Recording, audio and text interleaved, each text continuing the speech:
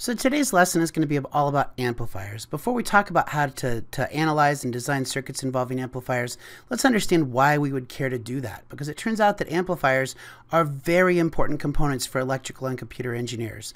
Uh, you know, I won't read the list here of all of the different things that involve amplifiers, but think about the fact that many times electrical and computer engineers work with things that operate at a distance. So if there's a remote sort of operation, uh, maybe that's like a, a, radio station transmitting remotely to a radio player, or it's uh, I'm communicating remotely with a weather satellite, or I'm I'm uh, uh I have a, a, stereo system set up where the speaker is more than zero distance away from my ear. Anytime that you have anything that's remote, that distance is going to cause the signal to to attenuate or to decrease in strength with the distance as it moves through the distance. In the same way if I'm talking to you from, you know, two feet away, we can have an easy conversation. But if we're 200 feet away, we're going to have to yell to be able to, to, to be heard by the other person. So anytime that you have this sort of attenuation, you're going to need to balance that by an amplification. So as the as the things get quieter and quieter and quieter, you need to amplify them so they come back up to the right level. And that's really why amplifiers are so important to electrical and computer engineers because we do an awful lot of things over a distance. That's something that is kind of unique for for electrical and computer engineers is that our work often uh, occurs over a distance. Now, it turns out that basically every type of amplifier is going to be based on a transistor, uh, but there are many different types of transistors, and for every one of those, there are many different types of amplifiers. I've just shown you a few examples here of, of amplifiers. This one, by the way, might look familiar. This is similar to the circuit we used to, uh, to, to drive the DC motor in an earlier lab. But I just wanted to give you an idea of the fact that, that you will eventually learn how to do these things. Uh, in your junior year, you'll take an entire course on amplifier design called Electronics.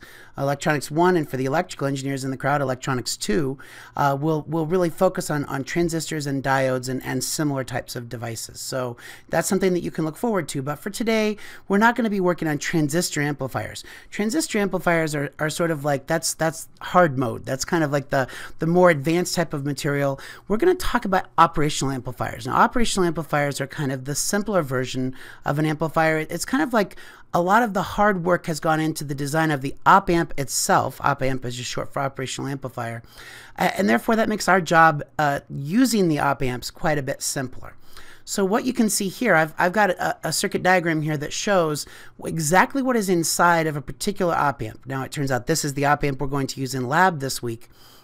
Uh, but it, it contains 25 transistors. Now, the most complicated circuit that I've ever designed involved three or four transistors, so I just can hardly even imagine how, how smart the people must have been who designed this this op amp circuit in the first place. But for just for just 25 cents, we can have a circuit that requires only 8 pens and has 25 transistors and does some really remarkable stuff. And and the two things that you need to know most are that op amps have a very high input impedance. Now, input impedance is, is a very important thing to electrical and computer computer engineers, but we haven't really talked about it very much. What this really means is that you're not going to draw very much current into the device. That basically it's like, it's, it's uh, imagine, you know, it's like uh, if somebody, if you owed somebody money and they were like, no, no, I couldn't possibly take that money. And you keep on trying to push the money at them. like, no, I will not take it. Uh, and, and, and that's a high input impedance. No matter how hard you push, they simply won't accept the money. And, and no matter how hard the voltage pushes, this op amp will not accept the current no current really can essentially flow into an op amp circuit. Uh, maybe a very tiny amount of current, microamps can flow, but for our purposes, it's going to be approximately zero. That's a very important thing to know about op amps is that they have a very high input impedance and therefore approximately zero input current.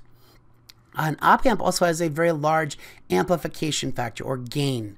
In fact, the circuit that's shown in figure 2 is guaranteed to have an amplification factor of at least 200,000.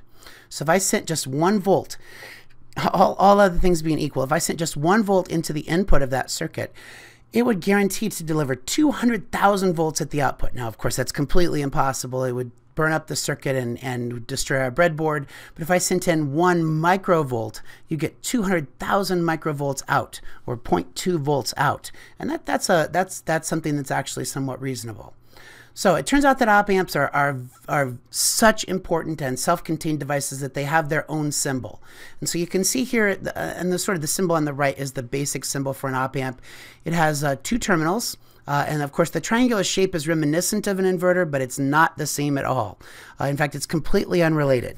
Remember that an inverter has the circle or the bubble on the output here, uh, and and the and the op amp has the plus and minus inside. So that's how you can tell them apart. The positive terminal here, that, that's referred to as the non-inverting input. The negative terminal, that's the inverting input.